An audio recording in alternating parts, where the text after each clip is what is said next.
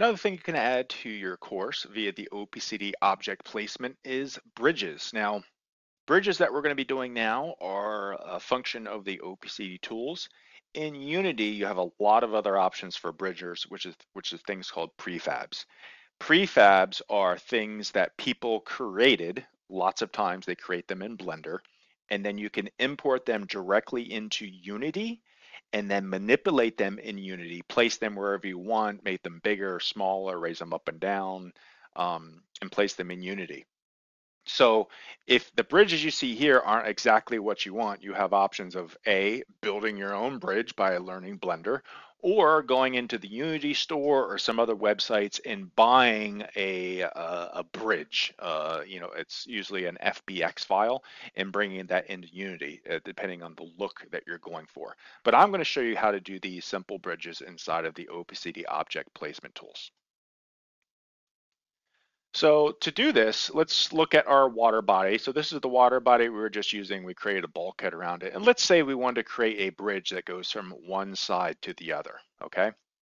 Now in our tools here, let's clean this up so you guys can see. Under my object placement tools, I have my bridges section here. And you can see there's four types of bridges. Um, they're all just different styles. We have two types of wood bridges and two types of stone bridges. So Let's just pick wood type one um, and it says add bridge in edit mode, okay? And you can see if I hover over the top, must select two vertices in, ed, in edit mode. So from the education I gave you on the background information earlier on, what is a vertice? Well, a vertice is where a couple of lines meet. So this is a vertice right here. This is a vertice right here. So we need to select at least two vertices in edit mode in order to add a bridge. Now, what this is not telling you though is that the two vertices you select must be in the same mesh, okay? So that's a restriction and there are ways to get around that, but let me show you why that's important. Well, let me show you how to make a bridge first, then I'll show you how to get around the restriction. So let's add a bridge across this water body. So let's do a wood bridge. We need to add bridge in edit mode. So we're gonna select a vertice. I would say we wanna do like a vertice here and a vertice here. So the first thing we need to do is select that mesh. And now I have that selected. I'm going to hit tab to go into edit mode. And when I see hit tab, you're going to see this changes from object select mode into edit mode. So now I'm in edit mode. And I'm also want to be in the vertice select tool that you see right here. So this is my select tool. I have that selected. I'm going to select this vertice right there. Now it's highlighted. I'm going to select this vertice over here. And now it is highlighted. Oh, it's not highlighted. What happened? Well, to select two vertices, I need to hold down shift. So I'm gonna hold down shift. Now I've got vertice selected here and a vertice selected here. Really simple. Now I come over here and hit add bridge and voila, I have myself a wooden bridge. Now you can say, hey, these colors are ugly. Again, remember, the cool colors and the cool materials get assigned in Unity. Everything in Blender is just kind of a placeholder for stuff happening later on. Okay, so these are material colors. And remember, just to give you an idea, if we go to the attributes, uh, it doesn't have any vert painting on it, okay? It's essentially blank, same thing with our bulkhead, but that's not a problem. We don't need to do vert painting on a bridge. So let's come back here and go to look at our material. So this is our bridge. Now let's say we wanna manipulate this a little bit. You can see when we added that bridge, it actually ends up in the planted object section at the top okay, of our hierarchy. So here we have our bridge that we just added. If I select it here, you can see that it is highlighted in my screen. Well, associated with that is this thing called a curve. A curve is another, um, if you want to call it attribute or uh, an object inside of uh, Blender, which shows essentially uh, you can have objects follow a curve. In this case, our curve isn't necessarily a curve, it's just a straight line. It goes from one side to the other. Now I have this selected and it's kind of hard to see in here. So I'm going to turn off and see if this helps us at all. I'm going to turn off our wireframe. And that didn't, oh, you can see. So here's our curve right here. It's one piece of it per se. And you can see another part of our curve here. Oh, I lost it. So if I come down here, so I'm going to go to my curve you see I have it highlighted here and it's highlighted here. I'm gonna hit tab and go into edit mode. Now when I'm in edit mode, my curve is much easier to see. all right? And I have two sides to my curve. I've got this side, which has three vertexes on it or points, and I've got this side. And depending on which of these you select and what you do to it, you can manipulate this curve and hence manipulate your bridge. So I'm just gonna hit N to hide my toolbar so I have a little bit more room to work with here. And the first thing I'm gonna do is I'm going to select, okay, this point right here.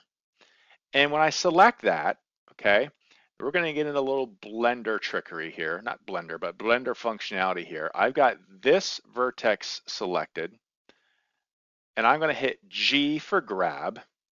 And when you see when I do that, I'm now moving this thing all over the place. And it's really hard to get an idea if I want to move this to the other side. Well, I'm kind of going up and down, left and right, forward and back, and I have no idea kind of where this is going. So I'm going to hit Y, which is going to restrict my movement on the Y plane or the ground plane. And when I do that, now you can see that when I move, it's staying at least flat and I can kind of have a better idea of where this is going. So let's say I want to move this over, say right about there. I'm going to click and that's going to stop. And I could do the same thing the other side as I can grab this point over here, G, Y, and now I can move it this way. And you can see I got some Z fighting because it's a little bit lower on this side and on that side. So what I can do is let me move around here a little bit closer. Let me select this one again. And now I'm gonna hit G for grab again, but now I'm gonna grab on the Z axis, which is gonna allow me to lift this up and down. So I hit Z. Now I can lift it straight up and down and I can drop it down just to where I start seeing some Z fighting. So I know it's just barely touching. So right there it starts to touch. Lift it up, click, and now that's just barely touching that side. So it looks pretty good. And I can do the same thing over here. If I manipulate that my move around here a little bit easier, highlight this, and I lost my curve. Where'd it go? Here it is. There's a point of my curve. There we go. And yeah, let me grab that, Z. Ooh, so you can see I brought this way over here, so I probably want to let me drop that down. Let me grab this again, grab Y, move it over here a little ways. And now I'm gonna grab, again, grab Z and drop it down. And you can see it just starts to disappear a little bit. So now I have it kind of on both sides, touching here, and I got it touching there. Well, these points on my curve that are towards the middle here, so there's one here, and if I highlight this one, there's one here, they can actually make this thing bend and manipulate. So let me grab this one, G, and let me move it on the Z axis. And let me show you what happens. Now I can get a little bit of an arch. Now most bridges are arched slightly, so I'm gonna arch that side. And let me go back over here, highlight this side, highlight this point here, grab Z and raise that up. And now you guys will see that my bridge has a slight arch to it. It makes it look a little bit more natural because that kind of goes up in the air a little bit. So that's how I create an arch on my bridge by grabbing these points and grabbing and moving them up and down. Now I can also put a curve on this bridge too. So I can take this same point here, grab it, Y, remember for the ground plane, and now I can drag it this way and add a curb. So I can go back to this side, grab this one here, grab Y, and shoot this one this way, and I can get some funky stuff going on here, right? So I can make an S out of that bridge. So there's a lot of stuff that you can do, okay? So that's how you add bridges. Now there is a trick here. Um, Let's say I'm going to have to make this up and you guys are going to have to do a little bit of thinking with me. Let's say that we wanted to create a bridge across this um, this water body, but this mesh over here, let me go back into object mode and select my rough. So this rough right now is all one mesh, but maybe this mesh over here was different from this mesh over here. And if that's the case, when I go in the tab and I do vertex select, I would not be able to select something in this one and something in this one because this is a different mesh. So for example, let's say we wanted to create a bridge from this point to, to a point in the middle of this fairway, okay? I don't know why you'd want to do that, but it serves the example of you want to create a bridge where the ends of the bridge are in two different meshes, okay? Unfortunately, I cannot select anything in here to do that. So what do I do? Just select two points in the same mesh. Okay, so now I got two points. I'm gonna hit the N key to bring up my bridge. I'm gonna add, let's do a stone, type this time, stone type one, add bridge.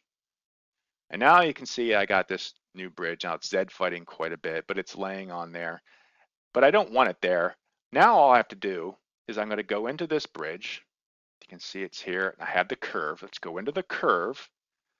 I can select, I'm gonna do tab. I'm gonna select this side of it. And what I'm gonna do is grab Y. And now essentially I can move this wherever I want it, okay? Um, I can move this bridge. Now, what did I do here? I need to grab this, grab Y. Sometimes it gets a little funny here. Now I can't move it over this direction for some reason. There we go. Grab it there.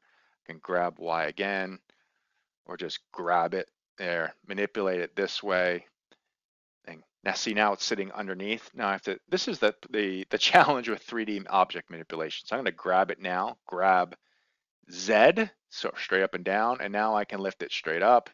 And you can see now I can start to get this into place. Grab Y, and now that bridge, it's not perfect. I have to do some manipulation here, but they get the idea is now that bridge is uh, going across two different meshes. For example, if there was a water body here, there is one mesh on this side, a different mesh on the other side. I would have had to select two vertices on the same mesh and manipulate it just like I did to get it over there. And you guys already seen how I do curves and such, okay? So that is working with bridges.